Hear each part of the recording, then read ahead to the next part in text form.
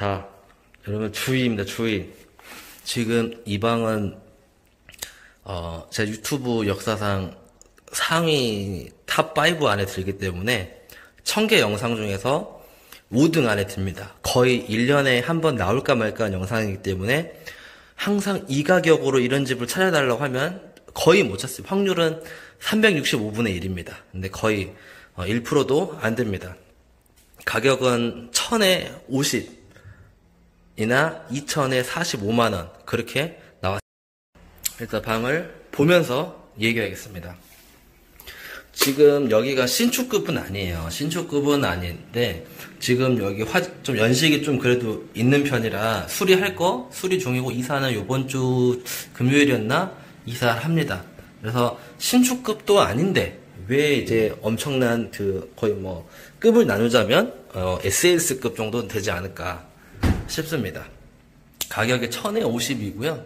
2000에 45고 제가 계약을 1000에 50인가 2000에 45로 한 것 같은데 일단 방 크기를 한번 보면은 어, 왜 제가 어, 제가 미리 말하지만 방 보이기 전에 미리 말하지만 절대로 이 가격으로 똑같 또 이 정도 방 못 구합니다. 저도 못 구해요. 그냥 정말 타이밍이 딱 맞았어요. 방 나오고 바로 계약했습니다. 그래서 그래서 가능한 거고 이런 집 자체가 많이 없어요. 한번 그럼 보시죠. 일단 화장실 창문 있고 방 이렇게 분리형이고 옵션은 다 있고 역, 어, 역에서는 한 800m 정도 거리? 그 정도 거리입니다. 그리고, 어, 살짝 보이시나요? 네, 살짝 보이죠? 자, 1000에, 어, 50, 2000에 45로 나와서 제가 2000에 45로 아마 계약을 했던 것 같아요. 방 크기가 보이시나요? 끝도 없죠? 지금 옷장이 하나 반이입니다, 지금. 옷장이 청소해서 열어놓은 것 같은데, 옷장이 지금 하나 하고 반 그리고 보통 책상 이 정도에다가 수납장에다가 TV 다이까지 두고 공간이 또 남아요. 그러면 거의 뭐 아, 여기다 재면 안 되지.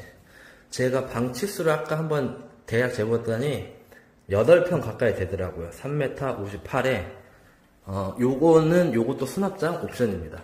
3m 58에 7.7평 정도?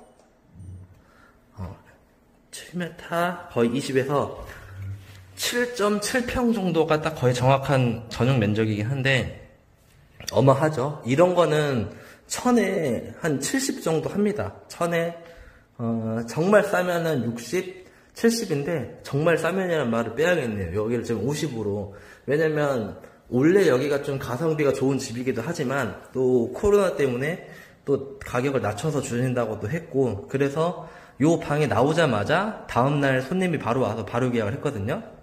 그래서 이분도 계약하신 분도 좀 마음가짐이 정말 된 사람이었습니다.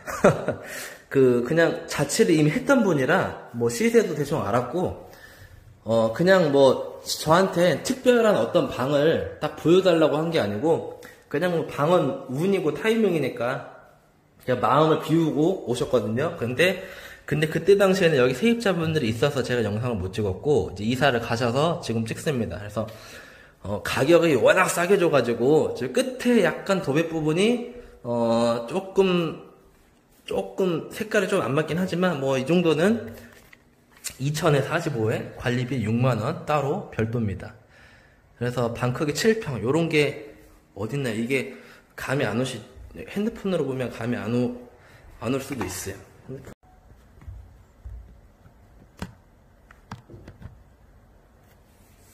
네, 한번. 하나, 둘, 셋. 네. 성인 남자가 양팔을 벌려서 세 번, 이, 이게 이상입니다. 방 크기.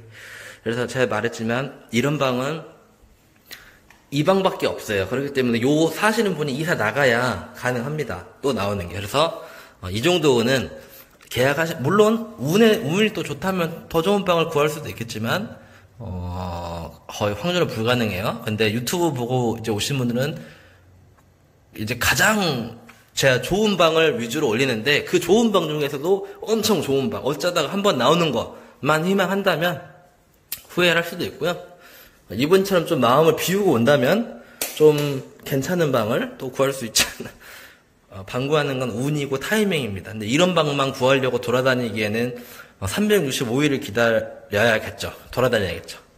그래도 다른 사람이 계약을 해버릴 수도 있으니까 어,